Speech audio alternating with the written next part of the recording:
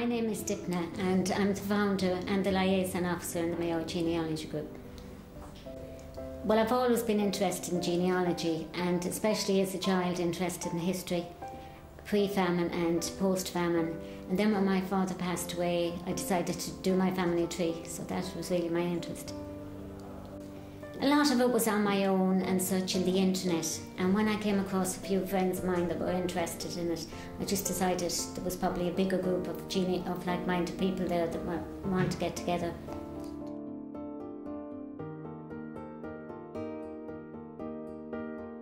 Hi, um, my name is Stella Cafferty and I'm the chairperson of the Mayo Genealogy Group. Yeah, genealogy is really important to me. Um, it's it's been a big um, factor and hobby and interest in my life since about the age of 10.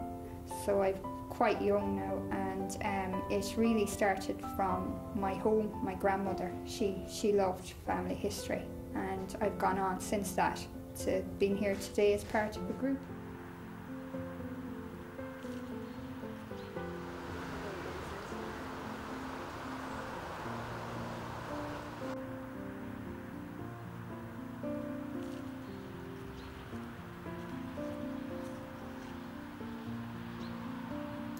Our group meets um, one Saturday every month in the morning here in Turlough Park Museum, and we have a little short meeting first just to update people on our developments and the contacts we've had during the week.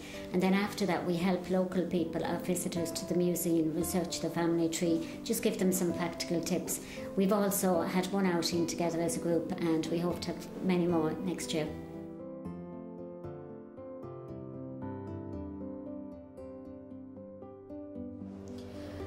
Dipna Joyce approached the museum with the idea of setting up a genealogy group. She already knew a couple of people who had a keen interest in genealogy. So, as part of our public programme here, she gave a talk to see if there'd be interest in starting up a group and enough people to set up the group as well. Uh, there was a great response and there was enough people to get the group started.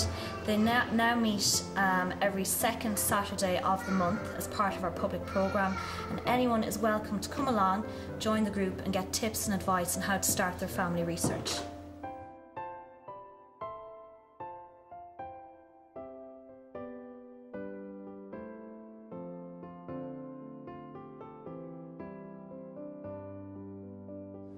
Well, the idea of the gathering really is to invite the diaspora, the Irish abroad, home to visit the places of their ancestors and maybe walk the footsteps of their ancestors. And we have found from our Facebook page many members that are already coming back. We've personally met a few of them, so it's really going to be an important year for Ireland next year when the Irish abroad come back to their country again.